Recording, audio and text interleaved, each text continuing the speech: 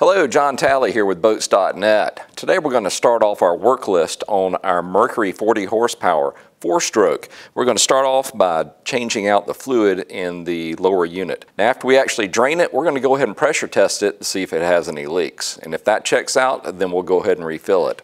Now as far as the special tools and parts you're going to need, it's real simple. All you're going to need is one of these pumps available from Mercury and then your lower unit fluid. So once you've got these two, we can go ahead and knock it out. Let me go grab a couple of basic tools and we'll get this thing done.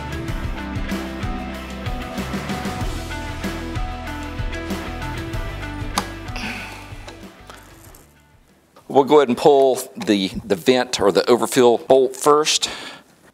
All right, the gasket stayed in there. So remember that when we go to reinstall it.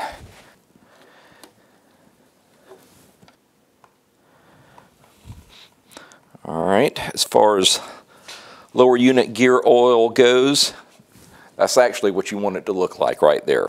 This has been used, but I don't see any milk, anything, you know, like water's been in there. There aren't any chunks rolling out as we've seen in uh, previous videos. So chances are this one's in pretty good shape and the seal stayed in there as well.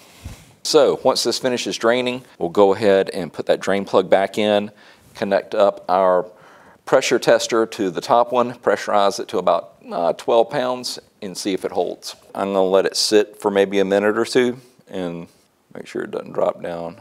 All right, let's take a peek. Pretty much right where I left it. So I think this unit's gonna be good to go. Now we're just going to refill till it runs out the top. Install that bolt and then we'll pull the pump line off, pop in the bottom bolt and we're done. Really easy to do so there's no excuse for you not getting this done yourself.